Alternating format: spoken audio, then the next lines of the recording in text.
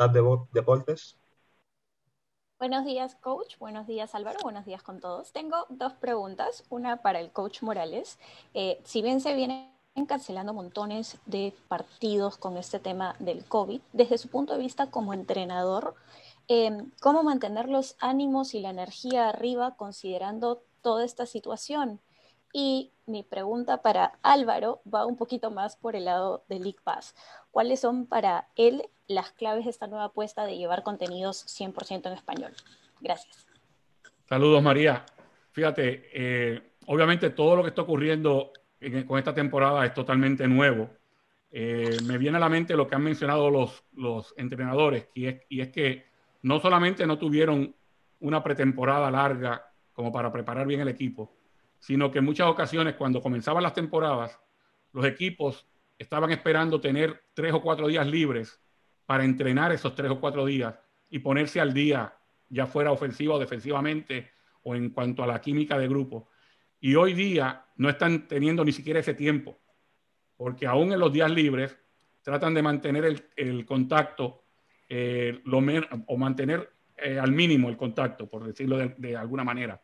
Así que no solamente están lidiando con todos los protocolos de, la, de cómo eh, lidiar, valga la redundancia, con la pandemia, sino que además de eso es una cosa totalmente distinta la de no poder entrenar, la de simplemente hablar con ellos o tener conferencias Zoom, eh, poner algo en el pizarrón previo al partido, tratar de, de, con videos llevarlos a lo que quieres entrenar, es muy, muy difícil y es muy retante y la mayoría de los entrenadores han, estado de acuerdo en que esta es la parte más difícil de lidiar con esta temporada. A eso le añade lo que están mencionando.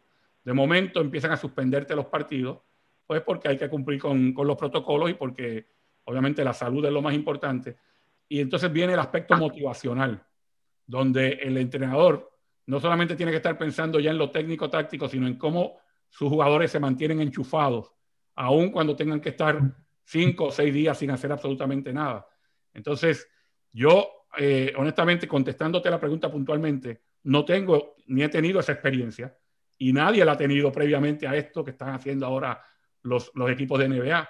Así que me gustaría a mí preguntarle a, eso, a estos coaches cómo están lidiando con eso, cómo están trabajando con la motivación para mantener a los jugadores enchufados más que otra cosa, eh, sabiendo que no juego la próxima semana, no entreno en la próxima semana, pero ya dentro de ocho o nueve días tengo un partido y debe ser un partido importante. ¿Qué tipo de, estrategia están utilizando los entrenadores para eso? Honestamente no la conozco y quisiera conocerla. Y añadiría, María, lo que dice Carlos de la parte competitiva, que hay un aspecto que escuchas una y otra vez a jugadores y entrenadores hablar y es el hecho de que el estadio esté silente.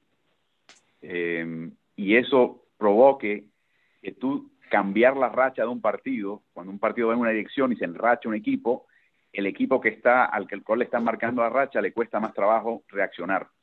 Y lo que están haciendo los equipos ahora es que le están pidiendo literalmente a los jugadores que hagan algo que hacían a veces eh, reaccionando o informalmente, pero ahora lo quieren hacer de forma formal. El que esté en la banca tiene que convertirse en porrista, tiene que darle energía al compañero que está en la cancha tiene que meterse y enchufarse mucho más porque el ambiente no te provee la emoción que a veces utilizaste combustible para tú potenciarte en la cancha o revertir eh, una tendencia contraria. Eso es, eso es un fenómeno bien interesante, ¿no? Que, que, estamos viendo bajo estas condiciones.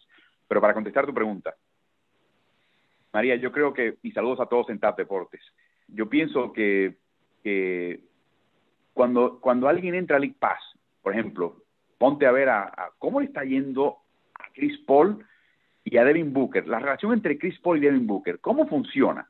Bueno, vete a ver un partido en League y de repente ves algo. Ah, qué interesante. Eh, déjame ver, ahora que hay un nuevo entrenador en Indiana, cómo ha cambiado el equipo. Y si tú has visto partidos de, de Indiana el año pasado y ves al Indiana de este año, te das cuenta que hay varios cambios que tus ojos pueden apreciar sin ser una persona particularmente capacitada educada en el básquet. Meramente empieza a captar detalles. Ah, espérate, haciendo las cosas un poquito distinto. Esta persona tiene este, este, papel ahora distinto. Este lo están colocando de otra manera en la cancha. Y eso es lo que tiene el ICPAS de bueno. que vas, vas aprendiendo, vas educándote. Después te tienta a ver un partido de Indiana más adelante para ver si lo que viste hace un mes o hace una semana se confirma o ha cambiado.